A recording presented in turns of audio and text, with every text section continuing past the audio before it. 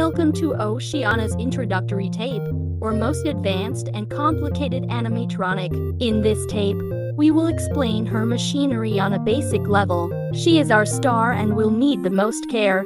If you would like to learn more, go to Oceania's Care and Repair booklet. Now, let's get started. Let's introduce you to the Oceania animatronic. The first thing you may be wondering is, why is it so dark? But don't worry, it has to be dark to keep from Oceania entering day mode.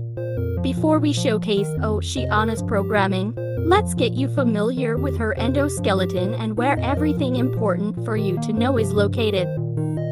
This is the basic structure of Oceania. It looks complicated, but it's really quite simple compared to what the technicians have to know. It's okay, you'll get used to it right away.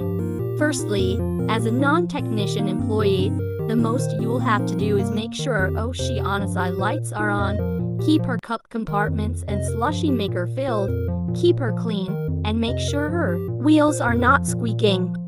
Back to the actual animatronic. As a daytime employee, part of your job is to make sure the animatronics are working properly while interacting with guests, especially Oceania. Oh no, Oceania's eye is bro- broken.